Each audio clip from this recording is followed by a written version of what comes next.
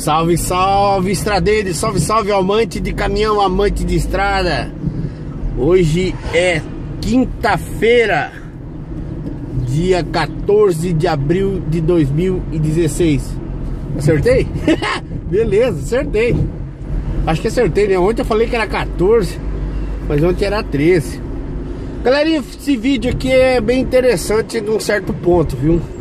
Porque é um assunto que eu nunca falei antes e é um assunto muito interessante, um assunto que por um acaso veio da minha cabeça. É sobre é, contratações de empresa para novos funcionários. Estamos aqui na Suíça, né? Para quem entrou novo no canal, cidade de Lausanne. E sempre passando algumas informações que eu acho interessante para a vida estradeira, né? A experiência que eu tenho aí de tantos anos de estrada. Embora não estou trabalhando com caminhão no momento, mas a informação persiste na cabeça e a gente não pode deixar de passar. Bom, galera, a contratação hoje em dia está bastante uniformizada por causa que os sindicatos é, procuraram sempre padronizar um pouco, mas ainda assim existem algumas diversidades de pagamento de contratação para motorista de caminhão e similares. A contratação ela varia muito a empresa. Na verdade, a empresa que sempre quer ganhar e pagar menos. Isso é o óbvio, né? Ela vai querer sempre reduzir o, ao gasto menor possível com o funcionário. Isso acaba refletindo no pagamento do motorista. Ou seja, tem algumas empresas que acabam pagando um salário é, fictício para título de INSS, imposto, etc. Mas na verdade ela paga por trás comissão, comissão de carga. Olha, falar a verdade, hoje em dia não é vantajoso no meu, no meu pensar você trabalhar com comissão. Por que, Jair? Porque é o seguinte, gente, às vezes é o comissionado, você não tem uma segurança. Vai depender muito também do que você fizer no, no, no, no, no contrato, na proposta que você fizer com o seu patrão. Mas o, a comissão hoje em dia ela não é muito viável, porque você nunca tem assim um, um amparo legal por lei, os seus direitos de férias, décimo terceiro, isso fica só através de papel, mas é, formalmente ele não existe. Você ficar doente, alguma coisa assim, existe uma, uma prerrogativa muito baixa sobre isso, sobre isso. Mudando assim, falando bem grosso, olha, é, você tem que se lascar todo dia. Você pega aí um, uma empresa te contrata por comissão, vai pagar 10%, 11% e você fica super animado. O que acontece? Chega um ponto, gente, que você às vezes vai num lugar, você leva um toco aí de uma semana, 10 dias. Você paga para trabalhar. Você paga para trabalhar. Pergunta para quem trabalha com comissão. Principalmente para quem está começando no ramo de transporte. Comissão não é viável. Porque você não tem as manhas e acaba levando toco e balão dos mais antigos e acaba ficando na na merda. Outras empresas às vezes pagam por KM rodado. É, eu trabalhei por isso na APK, lá de São José dos Pinhais, André Paulo Curso. Pagava um salário e pagava 8 centavos o quilômetro rodado. Ou seja, eu tinha que rodar mil quilômetros para ganhar 80 reais. Não era muito vantajoso também, né? Porque não tinha diária, não tinha nada. Então acabava se lascando de alguma forma. Outras empresas pagam um salário fixo, que eu acho a mais viável, embora às vezes o salário seja muito baixo, mas ela às vezes dá bastante benefício. Tipo plano de saúde, dentista, cesta básica. É... E se você somar tudo no final, isso aí é um custo. Diária também, bem lembrado é, paga diária aí, 50 e pouco, 48, 30, depende do acordo que for formado com o empregado. é pagar diáriazinha ali para você ter a despesa na estrada, ajuda com a despesa de estrada. Às vezes ajuda com combustível, vale transporte. Aí você fala, ah, mas a empresa paga só, digamos, é um salário para carreteiro, R$ 2.500, 2.700 reais. Mas é, você veja bem os benefícios. Tem vale transporte, dentista, tem transporte, tem é, cesta básica, tem é, plano de saúde, plano de dentista. Isso no fim das contas acaba sendo vantajoso. Aí você ganha na comissão oito pau por mês assim, digamos, né? não, vou por tanto, assim que não chega a isso, né? Uns 5, 5,5, 5, 4. Só que você tem que se virar com tudo. Com comida, com cesta básica para casa, com plano de saúde para a família, para os filhos. E acaba às vezes não sendo tão vantajoso. Então, o que compensa às vezes na hora que você for fazer um contrato de empresa, principalmente para quem é novo, é você ver bem o que a proposta da empresa te agrada. Nem sempre você ganhando bastante dinheiro, você vai ficar com esse dinheiro. Às vezes o, o valor em si de dinheiro acaba sendo ilusório, porque você gasta muito na estrada. É, daí o cara fala, ah, vou te pagar 15%.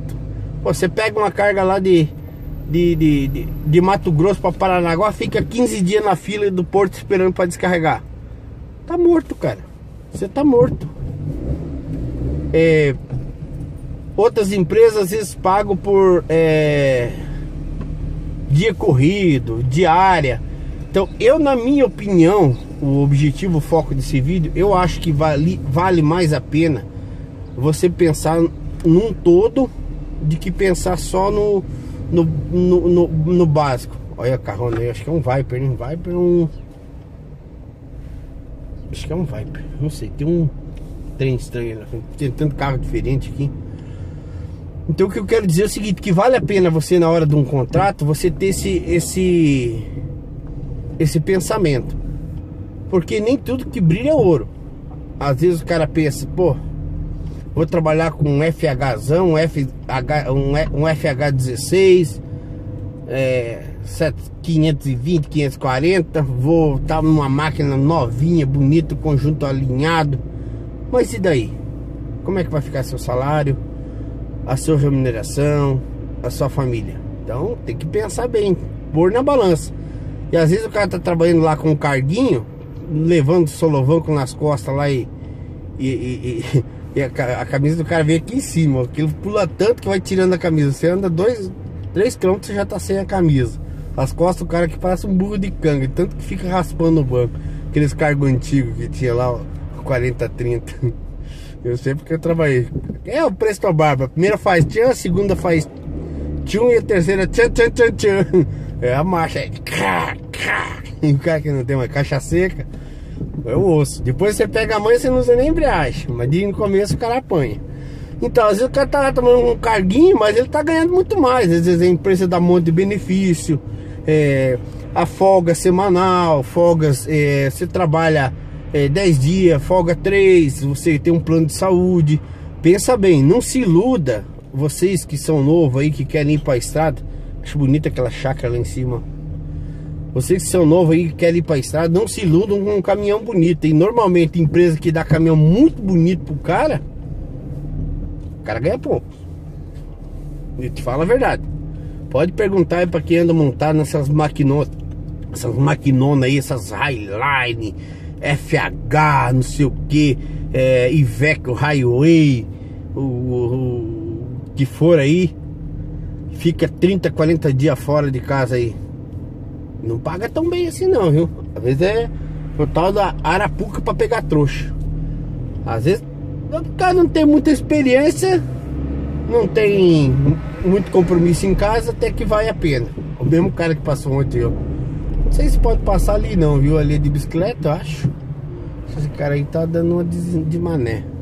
Logo, logo a polícia pega ele. Gente, tá acabando o vídeo. Duas câmeras só dois, é, 10 minutos, não dá pra falar mais.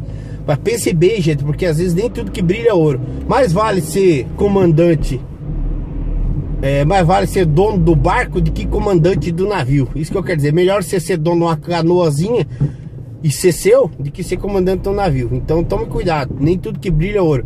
Pense bem numa proposta, analise os benefícios, que isso pode ser muito importante no final das contas. Valeu, galera. Uma... Ah, gente, não teve jeito. Tive que emendar o vídeo aí porque tinha mais umas coisinhas para falar aí. Eu vou emendar o vídeo. É... Voltando a falar, tem empresa aí, por exemplo, a empresa que eu trabalhava, a Expresso Adorno, ela pagava uma comissão estipulada, não era por porcentagem, uma comissão pré-definida pelo, pela logística, é, diária, né? Uma diária corrida quando você estava viajando e um salário da categoria fixo na carteira. O salário ninguém mexia, que era o salário fixo de carreteiro, que acho que agora deve estar tá 875, alguma coisa assim. E daí pagava a comissão por exemplo, ia de Curitiba para São Paulo era 100 reais, 150 reais de, de comissão. De Curitiba até ali Porto Real era 270, dependia a carga, dependia o cliente, dependia é, o caminhão, o peso. Então era uma, uma, uma comissão, não era por porcentagem, sim por é, estudo e predominação lá pela empresa. E a empresa é assim, ela vai sempre tentando enxugar o máximo possível o gasto com o funcionário. E se você, se a empresa ganha bem, lucra, você acaba lucrando. Se a empresa vai mal, ela tenta diminuir o seu salário. Então, capriche sempre para que a empresa vá bem. Tenta dar o menos de prejuízo possível para a empresa, cuida do equipamento, cuida do caminhão, cuida do, de tudo que for material, a cinta que for entidada, corda, lona, tudo que for posto como responsabilidade, pegue e fique cuidando, porque tudo que a empresa tiver de gastos, ela vai ter que tirar e enxugar de algum lugar. E normalmente enxuga no salário do, do motorista, que é o, o mais óbvio, né? E, então tem, tem várias modalidades de, de, de, de pagamento. Pagamento por comissão, pagamento por KM rodado, é livre, é, tanto vazio, tanto cheio. Tem empresa que paga, ó, eu vou pagar é, 10 centavos o quilômetro rodado. Tanto faz você rodar livre, é, vazio como carregado. O que acontece? Ótimo. E um salário da categoria fixo sem diária, por exemplo. Aí você tem que rodar aí, por exemplo, é mil quilômetros para ganhar 100 reais. Mas você gasta nesses mil. Um exemplo, não estou dizendo que é isso, né? Aí você gasta nesses mil quilômetros, você gasta 50 de comida, sai 50 de, de comissão. Mas e quando você fica parado? Você leva um toco aí de 10 dias para descarregar, 5 dias. O cara fica apavorado, bicho. O cara fica apavorado porque daí tá acabando o, o, o, o mês e o cara não consegue dinheiro. Então volto a repetir, vou frisar, frisar bastante nesse quesito. Principalmente, cuidado, a rapaziada nova, não se iludam com um caminhão bonito, hein? Que às vezes é uma armadilha para pegar o cara aí, que não tem experiência. Essas empresas grandes, os caminhões são todos segurados. Às vezes elas dão essas oportunidades aí. E o cara trabalha, vira, acaba virando escravo do trabalho, só porque tá com um caminhãozão bonito. Conheço motorista que não sai da firma só para não largar o caminhão. O cara tá lá, embarcou no FH 16750, que o cara é capaz de pagar para trabalhar, mas não larga o caminhão. Então toma cuidado. Ah, não ser, como eu digo sempre, né? Se você não tem nenhum compromisso, suas contas estão bem equilibradas, você é um rapaz novo, 22 anos, acabou recém tirar a carteira e quer esquentar a carteira. Aí tudo bem, fica lá um ano trabalhando, pagando para trabalhar, né? Porque, gente, eu falo a verdade, é experiência própria. O pessoal pode comentar, eu quero que vocês comentem aí, principalmente quem já trabalhou nesse sistema, qual sistema, algum outro sistema de pagamento que as empresas pagam. Comentem no vídeo para mim ver. Tem empresa que paga por comissão, outros paga por hora, outro paga por dia, outro paga por é, tem várias formas. Comentei pra mim no vídeo algumas formas a mais de, de, de, de pagamento que tem. Que eu quero dar uma olhada aí. Então, é, pense bem, às vezes é, você ganha, pode ganhar uma certa quantia X, mas tem um plano de saúde, tem folga, tem. É, você pode viver, né? Você tem lazer, você pode ir para casa quando chega de viagem, ficar dois, três dias em casa. é, você tem é, a possibilidade de ter um plano de saúde, ganha uma boa cesta básica no final do mês, você ganha um, um é, plano dentista, ajuda de curso, transporte, ajuda combustível, tudo isso conta. E às vezes aquele teu salário ele acaba saindo limpo. Então tem que pensar muito bem nisso, hein? Agora os novos, o que eu sempre falo para vocês, os novos eles têm que pegar e prestar muita atenção, porque existe muita empresa que explora os novos por saber que o cara precisa esquentar a carteira, é doente por caminhão e acaba o cara sofrendo. Daí o que acontece? O cara pega um caminhão bonitão, sai viajar e quando chega, dois, três meses ele pede para sair, porque ele, ele não vê resultado do trabalho dele. Ele não vê resultado, ele acaba ficando é, decepcionado, porque trabalha, trabalha e não ganha.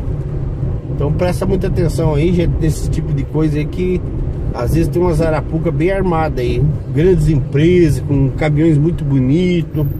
Não tô falando de todos, mas tem a maioria aí. Não paga lá muito bem não. Agora se você quer esquentar a carteira aí por um ano e pouco, não tá com as continhas tudo arrumadas, bora lá então, né? Só que não é mole não, hein? Pegar e encarar o, Nordestão aí, sumir no mundo, chegar, ficar 30, 40 dias fora de casa, chegar em casa lá final do mês e pensar que vem 10 contos, chega lá, desconta isso, desconta aquilo, desconta aquele outro, quando você vê, ficou devendo pra firma. Ou pegou quinhentão. Aí dá, dá nó nas tripas do cara, né? Mas tá bom, galera. Fica por aí esse vídeo aqui. Um abraço pra vocês. É, não sei se eu vou postar esse vídeo hoje, dia 14 de abril, ou talvez, eu poste dia 15, na sexta-feira, mas é deixar gravado aí para registrar para vocês. Preste atenção quando for contratado, não tenha medo de reivindicar seus valores, é, dê valor no seu trabalho, dê valor no seu suor, dê valor na sua profissão. Não seja escravo de patrão, porque se você é mais um que vira escravo, acaba é, a classe cada vez mais desvalorizada. Vamos valorizar a classe, vamos se valorizar para que a gente tenha um salário digno e merecedor do nosso trabalho suado. Valeu, galerinha. Boa quinta-feira para todo mundo. Se eu postar amanhã, boa sexta-feira. E um abraço para todo mundo, para os novos inscritos. Fica aí, compartilha, dá um curte no vídeo, é o que motiva a gente fazer vídeo. É, comenta, fala um pouco aí sobre o assunto que eu falei, fala algum assunto que você gostaria de falar. Se você não gostou desse vídeo, deve ter algum vídeo que você possa gostar. Se gostou, dá um joinha. E se achar que tem algum assunto que você gostaria que visse falar, para dizer, não, já, já tô cansado disso, cansado daquilo, dá uma opinião, dá um palpite aí, tá bom? Eu vou aceitar com muito carinho. Valeu, galera, um abraço, tudo de bom, fui!